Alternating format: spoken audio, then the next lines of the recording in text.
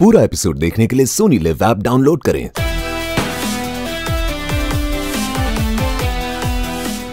यही एक रास्ता बचा है।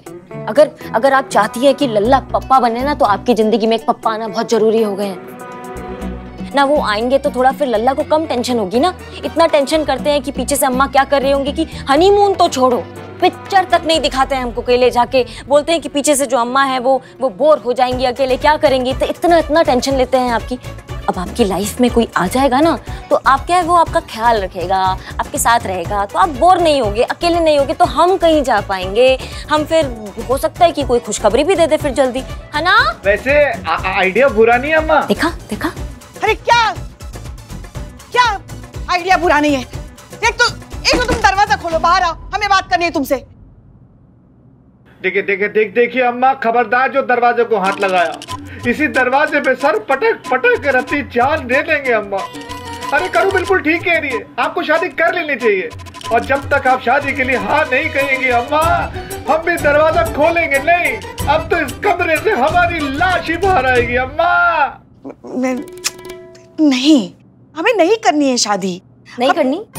नहीं करनी ना तो मत कीजिए। तो फिर नहीं हम कभी माँ बनेंगे ना आप दादी बनेंगी ना वो पप्पा बनेंगे। अब आप समझ लीजिए। हम जा रहे हैं। अरे क्यों? बार बार हम जा रहे हैं हम जा रहे हैं हम जा रहे हैं धमकी दे तो क्या करें हम क्या करें फिर हम? नहीं, देखो थोड़ा ठंडे दिमाग से सोचो ना हम। इस उम्र में हम ठीक है। ठीक है अब तुम दोनों की खुशी के लिए हम कर लेंगे शादी। मगर इस उम्र में शादी करना आसान थोड़ी ना है। अरे मुश्किल भी नहीं है। आपने आपने मान लिया ना? तो हम पे छोड़ दीजिए। आप आप मस्त रहिए हम आपकी नई खुशी के बैंड बजवाने का तैयारी करते हैं ठीक है?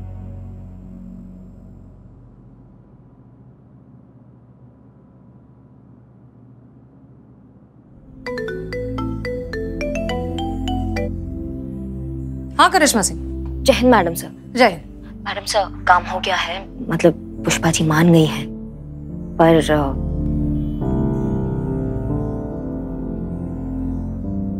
हमें बहुत बुरा लग रहा है मैडम सर। हम अपना केस सॉल्व करने के लिए पुष्पा जी की भावनाओं का सीडी काहे बना रहे हैं। करिश्मा सिंह ऐसा कुछ नहीं। I am sure Pushpa ji को भी जब सच्चाई का पता चलेगा तो वो भी इस बात को सपोर्ट ही करेंगे। रिलैक्स अब कुछ भी गलत नहीं कर रही हैं। आप ये सब सोचना छोड़िए और अपने अगले स्टेप पर फोकस कीजिए। ओके जय हिंद।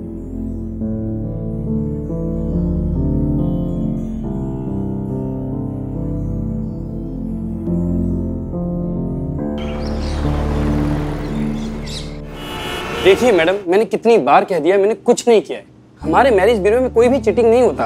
हमारे यहाँ पे बहुत ही ट्रांसपेरेंट और सिस्टमेटिक तरीके से काम होता है। कायदे कानून के साथ होता है। क्यों आप बार बार मेरे सामने आके मेरी जान सुखा देती हैं? अरे कितने काम पड़े हैं, कितने लड़के लड़कियों के रिश्ते कराने हैं मुझे। घर बसाना है मुझे। अरे तो आप उठ का रहे बैठ जाइए ना। बैठ के बतियाते हैं ना। और बसाइए आप घर। कौन मना कर रहा है आपको घर बसाने से? अरे हम यहाँ पुलिस की हैसियत से नहीं आए भैया आज। हम यहाँ क्लाइंट की हैसियत से आए हैं। हमको एक रिश्ता कराना है। किसका रिश्ता? इनका। इनका? जी। कौन है ये? सास। और ससुर? छत पे? निपट गए। मतलब चल दिए वो स्वर्गवासी हो गए। अच्छा। भगवान उनकी आत्मा को शांति प्रदान करे। उमर? देखिए ये राज का बात तो आज तक यमराज भी पता नहीं लगा पाए हैं। तो आप समझ लीजिए फिर। इतनी भी उम्र नहीं है हमारी। अभी देखा ही। क्या है हमने ज़िंदगी में। अभी भी देखने के लिए कुछ बचा है क्या? मेरा कहने का मतलब है इस उम्र में शादी करनी क्यों है आपको? हम तुम आम खाओ ना गुटलिया खाई गिन रही हो बे। जैसी रिश्ता होगा वैसे डेढ़ गुना कमीशन मिलेगा तुम्हें वो भी नकद। और जब वर पक्ष मिलाई होती है उसका अलग पैसा मिलेगा तुमको तो अब सोच लो क्या करना है।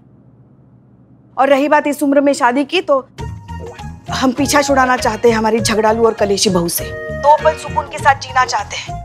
चैन से बैठ के बतियाना चाहते हैं किसी अच्छे और भले इंसान के साथ। कितनी जेन्युइन एक्टिंग करी अपनी पुष्पा जी। ये जो तो पक्का पकड़ा जाएगा आपका आइडिया बहुत सही है madam sir. Shantu ji Shantu ji madam sir का आइडिया तो बहुत बेहतरीन है ही। हम्म। लेकिन पुष्पा जी और जेन्युइन एक्टिंग असंभव। तो अगर उनको मालूम होता कि अभिनय करना है तो अब तक तो अभिनय का भूचाल सुनामी सैलाब सब कुछ ला देती। लेकिन इस बात का यकीन है मैडम सर। जैकबुआ ना पकड़ा जाएगा। कौन? जैकबुआ जैकबुआ। जेकब। लेकिन हमें नहीं लगता कि वो इतनी आसानी से झांसे में आएगा।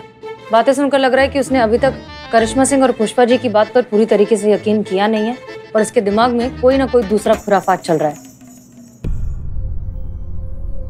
या तो ये पुष्पा एक्टर बहुत अच्छी है या फिर ये मामला सच में जैनवन है। जो भी हो जो सबसे पहले कंफर्म करना होगा कि कहीं ये इस पुलिस वाले की कोई चाल तो नहीं?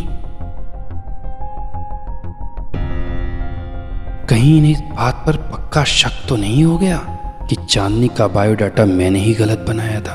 कोई बात नहीं, मैं भी कहा इतनी आसानी से इनके जाल में फंसने वाला हूँ।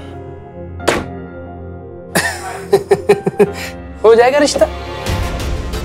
एक से बढ़कर एक लड़का लेकर आऊँगा इनके लिए मैं। आप चिंता ना करें, मैं जल्दी बुलाता हूँ आपको ऑफ़िस में।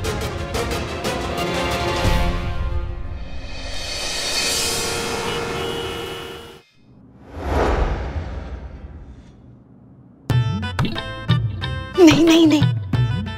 कहा हुआ? सुनिए ना हम क्या कह रहे हैं? ये सब करना ज़रूरी है क्या? बहुत ज़्यादा ज़रूरी है चलिए। अच्छा।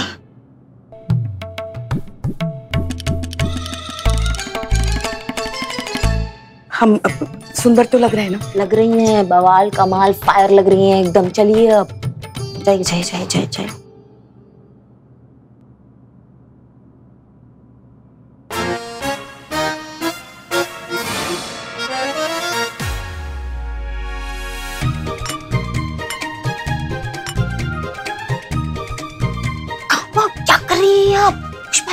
देखो क्या है ना अगर हम इन्हें रिजेक्ट करते हैं ना तो हमें कोई दिक्कत नहीं है। अगर ये लोग हमें रिजेक्ट करते हैं ना तो हम ये बर्दाश्त नहीं कर पाएँगे। अब कैसे समझाएँ आप? रिजेक्ट आपको? मामा भूल गई क्या आप? जवानी में एकदम आपके नाम के ना मोहल्ले में एकदम गोलियाँ चलती होंगी। हाँ हाँ, अभी भी आप में वो कसक वो वो खूबसूरती वो वो नमक है आपके अंदर। अरे सबको छोड़ो। नवाब साहब इंसान से केकड़ा बनने में एक सेकंड लगाते हैं आपको देख के भूल गए? हम कैसे भूल गए नवाब साहब को? शादी करने के लिए उनसे अच्छा उम्मीदवार हो ही नहीं सकता। नवाब साहब को फ़ोन करो उन्हें बुला। और हाँ उन्हें ये खुशखबरी ऐसे झट से मत सुनाना उनको हार्ट अटैक आ जाएगा। बुला बुला और एक मिनट पकड़ पकड़ पकड़। एक मिनट ये क्या कर रही हैं? अरे नवाब साहब को हमारे खुले बाल बहुत पसंद है ना?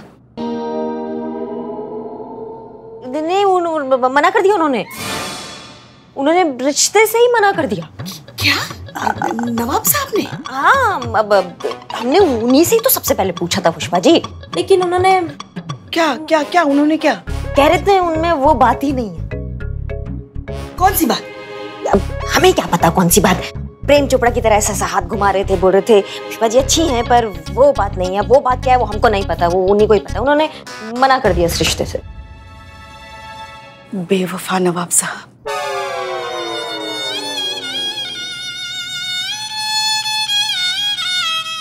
पूरा एपिसोड देखने के लिए सोनी लिव ऐप डाउनलोड करें।